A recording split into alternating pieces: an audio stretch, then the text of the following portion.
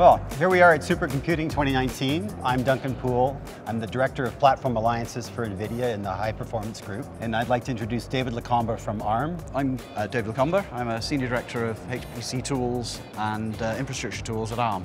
Where do you think is the opportunity for ARM servers in HPC now? The first very large ARM HPC system was announced many years ago with the, the RIKEN system, which is using the, the post-K Fugaku system, which has got uh, Fujitsu CPUs in, which have our SVE architecture, um, and that's going to be one of the largest systems on the planet when that comes out. There's the biggest uh, system currently in use, actually doing production science, is at the Sandia National Labs, and we've been working really closely with them. But uh, Sandia, they set up a 145,000 core uh, Marvell Thunder X2 system. Excellent. And uh, you know that was actually ARM's first top 500 entry you know, 12 months ago, and uh, that gave them an opportunity to prove out ARM's uh, porting of, of, of a typical HPC software stack.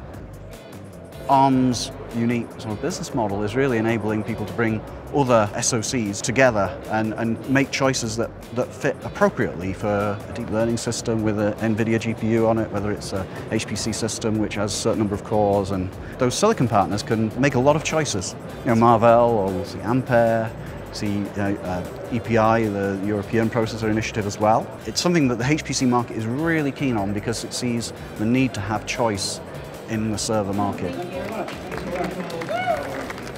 ARM plus NVIDIA together, what does this mean for, for you? What do you think it does to the future of supercomputing? I think what it means is that ARM became essential because they're the processor for, especially for those edge devices and being able to, to show that flow all the way through potentially with the same mm. software stack, same development tools. Uh, it's, it's a big deal.